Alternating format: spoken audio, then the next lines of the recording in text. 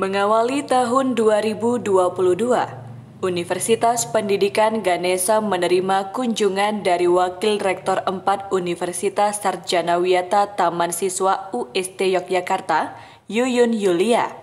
Kunjungan ini dalam rangka studi banding terkait implementasi kebijakan Merdeka Belajar Kampus Merdeka MBKM maupun Tridharma Perguruan Tinggi. Kehadiran Yuyun Yulia diterima Wakil Rektor 1 Undiksa Dr. Gede Rasbendantes, didampingi Ketua Lembaga Pengembangan Pembelajaran dan Penjaminan Mutu LP3M, Profesor Dr. Imadi Ardana, Sekretaris LP3M Dr. Igusti Lanang Agung Parwata, dan Kepala Pusat.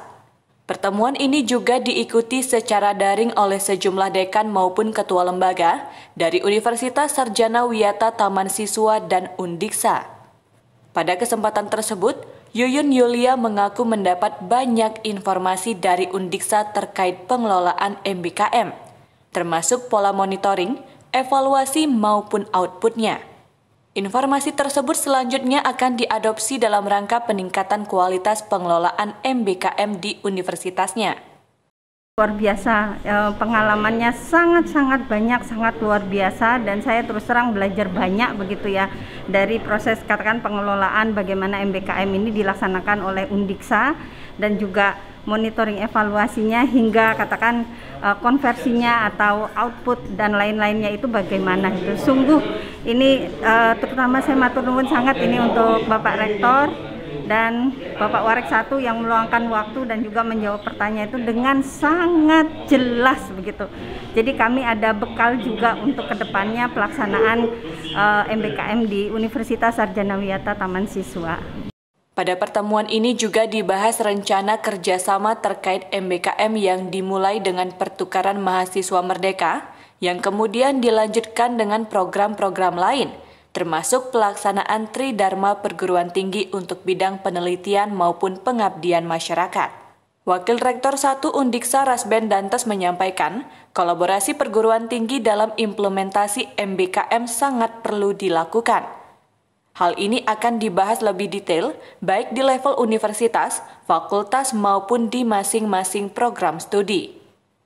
Sejauh ini program MBKM yang di breakdown lebih detail ke dalam delapan kegiatan, yaitu pertukaran mahasiswa, asistensi belajar di satuan pendidikan, magang di industri, proyek kemanusiaan, studi independen, riset, membangun desa atau KKN tematik sudah dilakukan oleh Undiksa. Banyak mahasiswa mengikuti program-program yang telah diluncurkan oleh kementerian. Banyak juga fakultas dan program studi yang merancang kegiatan-kegiatan mandirinya. UST Yogyakarta atas kunjungannya ke Undiksa dan saya kira kita sama-sama belajar banyak hal dan yang paling penting bahwa ke depan kita akan uh, mendiskusikan lebih detail terkait dengan kolaborasi yang akan kita lakukan baik itu di level universitas maupun di masing-masing program studi. Nah, tadi juga sudah disampaikan beberapa uh, inputan, beberapa informasi baik itu dari teman-teman UST maupun dari teman-teman Undiksa. Saya kira uh, ini adalah kesempatan yang sangat baik saya kira ya bagi Undiksa dan UST untuk kita bersinergi, berkolaborasi. Dan di era ini saya kira kita tidak bisa berjalan sendiri-sendiri. Dan melalui beberapa kegiatan Merdeka Belajar Kampus Merdeka dan uh, eh, UST dan Undiksa saya kira akan banyak bisa melakukan kegiatan-kegiatan bersama. Termasuk juga uh, tridharma yang lain ya. Misalnya joint research kemudian joint publication kemudian memperkuat jurnal di masing-masing uh, universitas. Termasuk juga mungkin nanti melaksanakan pengabdian bersama. Kegiatan-kegiatan tersebut sangat penting dalam rangka memberikan peluang kepada mahasiswa untuk mendapatkan pengalaman lebih banyak di lapangan, sehingga siap untuk terjun ke dunia kerja. Selain MBKM, Rasben juga menyatakan Undiksa bersepakat untuk berkolaborasi dalam pelaksanaan Tridharma yang lain, baik joint research, joint publication, memperkuat jurnal masing-masing universitas, termasuk juga melaksanakan pengabdian bersama. Humas Undiksa melaporkan.